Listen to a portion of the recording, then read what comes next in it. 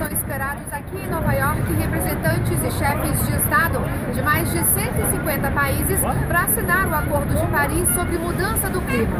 Este está sendo considerado o maior acordo em número de adesões da história da ONU. A presidenta Dilma Rousseff participa da cerimônia na sede das Nações Unidas, que está marcada para começar às 8h30 da manhã, horário aqui de Nova York, 9h30 no horário de Brasília.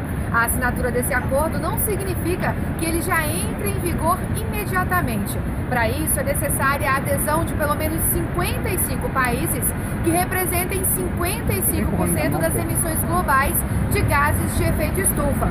Essa adesão se dá por meio da aprovação do Tratado Internacional pelo Poder Legislativo de cada país, para que o acordo se torne lei em cada nação.